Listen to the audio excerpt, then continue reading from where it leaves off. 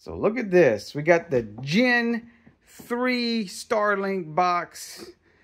Haven't seen the first two models, but when I did the, saw the thing for the early access, well, we had to check it out and see what it was all about. If you're new to the channel here, well, this is OG. And he helps out with a lot of stuff. That's actually his initials, OG. Do the honors, OG. Open it. I'll start from here first.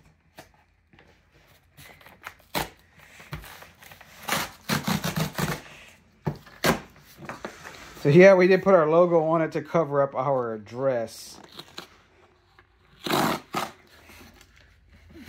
This that that's all it is. There's more. But wait, there's more. You want to pick it up out of there? That's the dish. Don't drop it. I want it. It's food This is a little different deal. Got food on the bottom. It's not food. It's stuff. It's just dust and stuff. So Take it. it looks like you just need to. I remember the other one had moved and stuff. Looks like a Cat 5 port mm-hmm. Let me see. Let me see. down in there. So I'm guessing they're a power over Ethernet deal. The other dish had motorized. This is just, put it down on my shag carpet. That's interesting. So you just sit it there and it has a bracket. I'm hoping you can mount it somewhere. So let's see what else is in the box here.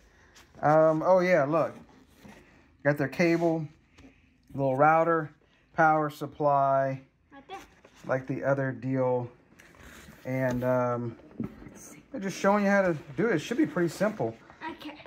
So let's see what we got here. This is their, I'll take it out. Take it out.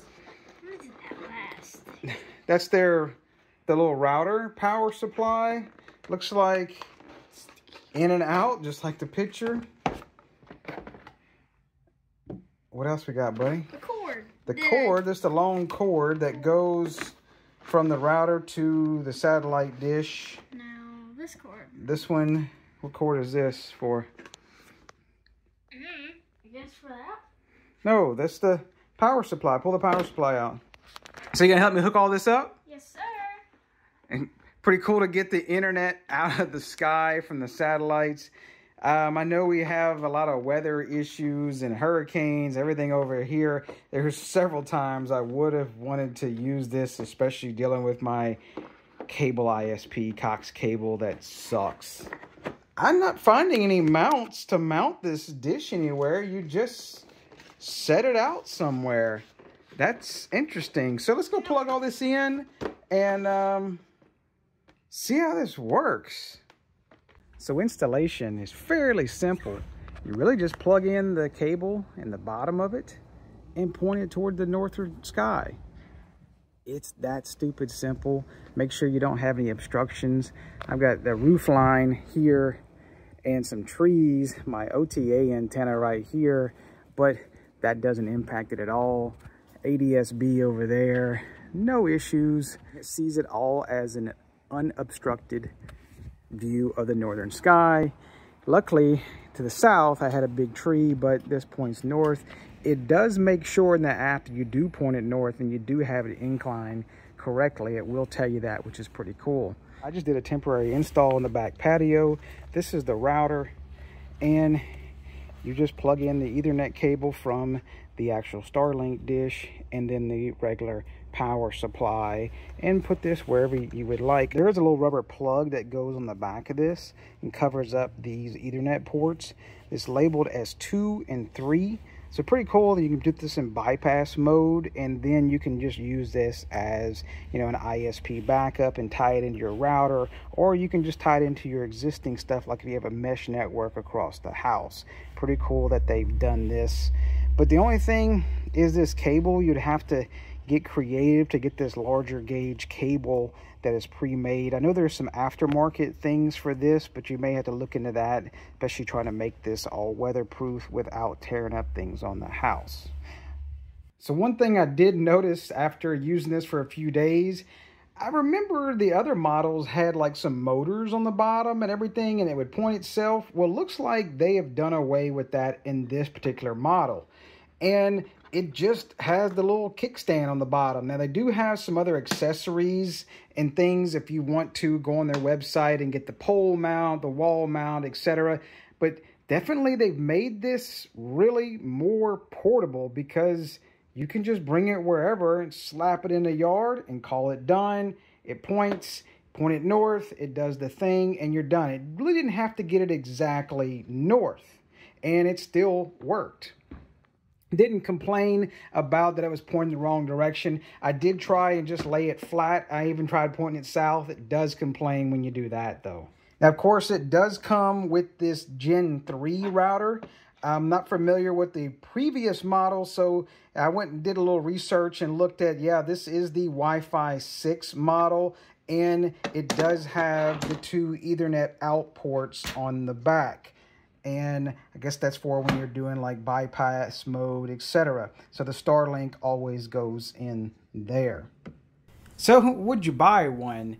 if you didn't have a decent landline, you know, cable ISP, fiber, whatever, copper, whatever it is, and you just need the internet and you had look at those other satellite providers, absolutely. This thing blows the out of the water. I've had to deal with satellite internet out in the boonies, like on the KU band stuff. I don't even know what the name thing like Wild Blue and there's like Dish had one for a while.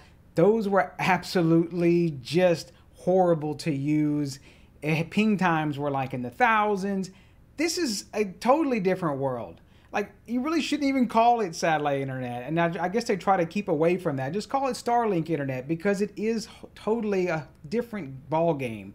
The ping times were way super low due to the satellites being closer instead of in that geostationary. But all the geekiness out of it, this thing is stupid simple. Like anybody could set it up. OG could set it up. It was that simple. You really just plug in the couple wires to it, set it out in the yard, follow the things on the app, and it goes through, and you're pretty much done, and you're on the internet pretty much no matter where you're at, at least in the US and all the other areas that they do service showing on their map.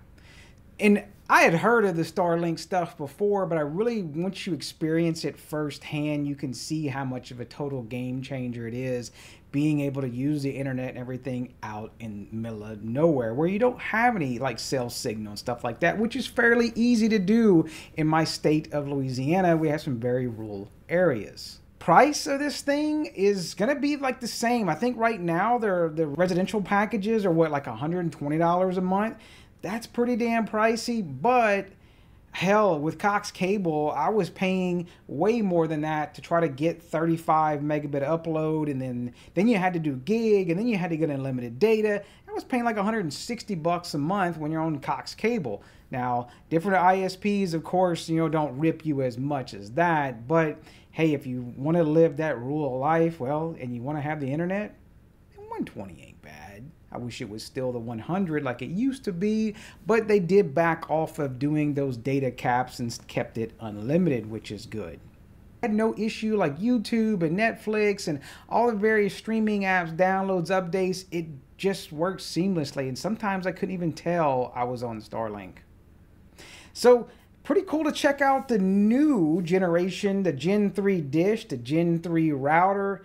Pretty decent stuff. Now, performance wise, I don't really have a lot to compare with. I don't have the other gens here to compare, and it does make a difference based on, you know, the usage in your area, etc.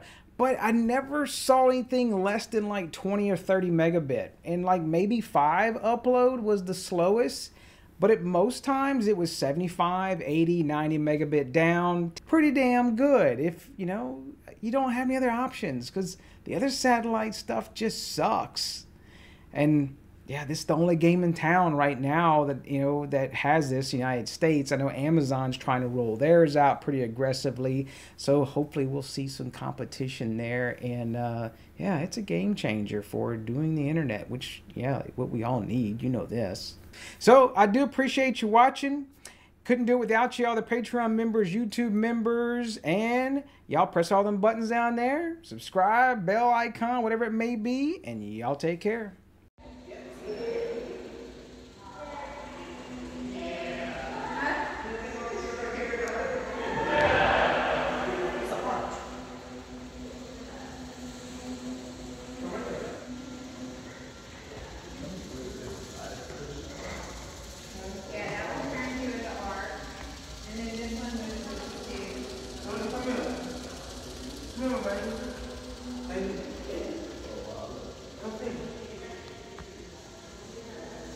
Gotta stand still. Raise your arms above your head.